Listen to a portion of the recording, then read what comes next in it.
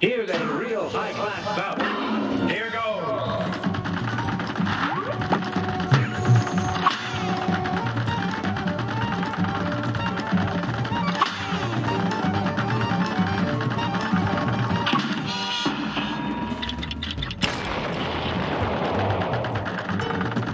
Oh,